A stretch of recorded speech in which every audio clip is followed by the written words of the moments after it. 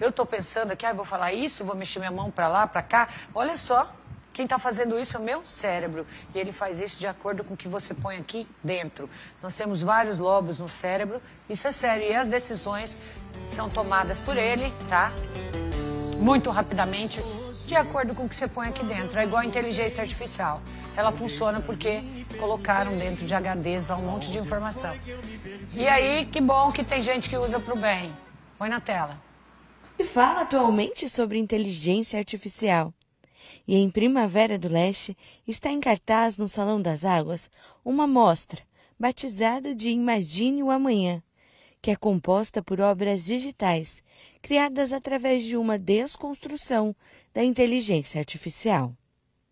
Através de um gerador de imagens e a partir de disparadores criativos da própria artista plástica, num processo antropofágico, ela reconstrói manualmente e as entrega com algumas distorções.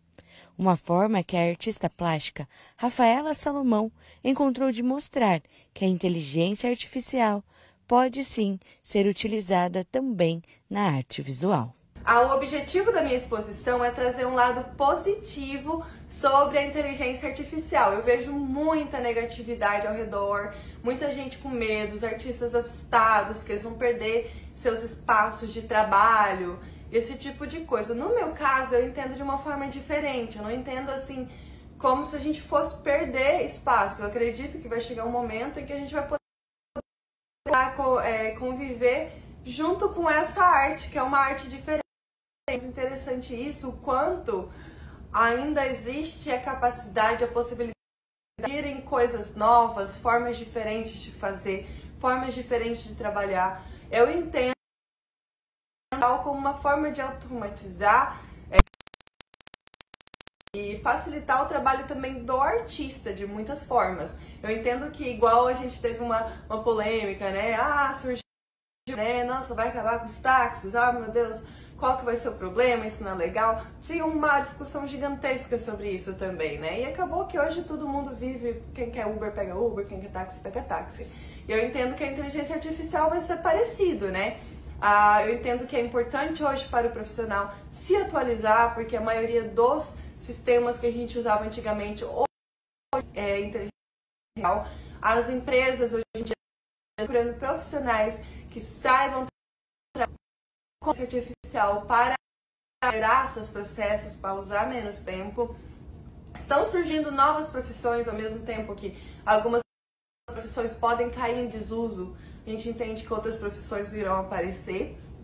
Então eu acho importante a gente aprender a viver com uma realidade que a gente já tem, né? Que com pouquíssimo tempo, dois ou três anos, teve essa revolução gigantesca. Eu entendo que isso não vai parar, ela vai continuar, ela é importante que a gente aprenda a se adaptar, a melhor disso e acelerar nossos processos. E é por isso que essa, essa exposição é sobre isso, sobre conceitos que é utilizado na minha produção artística, que eu produzo filme, eu faço projetos cinematográficos e também de teatro. E, e aí eu comecei a utilizar essa ferramenta para me ajudar nos meus processos e para entender o quanto isso poderia me ajudar. Neste sentido, através do seu olhar estético, a artista recria, reorganiza e finaliza a arte em outros aplicativos. O resultado dessa interação é surpreendente e, ao trazer as imagens com conceitos de vestimentas, busca propor a reflexão de como a criação com o uso da IA hoje pode impactar o nosso futuro. Eu peguei essa ferramenta que está ali, todos podem utilizar, tem ferramentas pagas como tem gratuitas.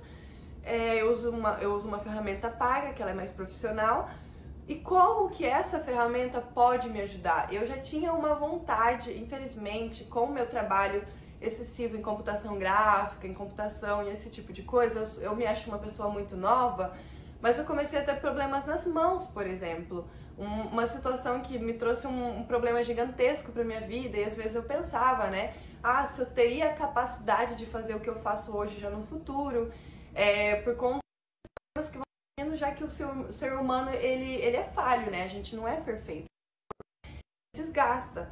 E eu pensava, eu sonhava, eu pensava, eu sonhava com a máquina eu falaria com esse computador para me dar o que eu quero, para me dar o que eu estou pensando.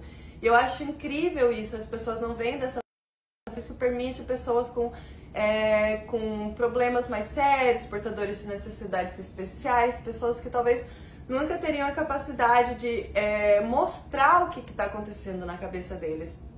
E eles podem utilizar a inteligência artificial. Eu acho que tem várias coisas positivas sobre isso. A artista plástica é de Primavera do Leste. Para ela, expor na cidade, onde ela recebeu tantos incentivos e iniciou a carreira, é sempre motivo de muita felicidade. Expor na minha cidade, assim, com os meus amigos lá presente, com a minha comunidade, nesse solo fértil, que foi onde eu aprendi, onde eu desenvolvi e que é tudo que eu aprendi hoje que está me ajudando, seja lá fora do Mato Grosso, seja fora do Brasil, vem de Primavera do Leste. E eu acho que foi é, essa é realmente a chave do meu sucesso, esse território onde eu aprendi e expor nesse mesmo território para mim é incrível, é um presente gigantesco. Ficou curioso? Segue até o dia 28 de abril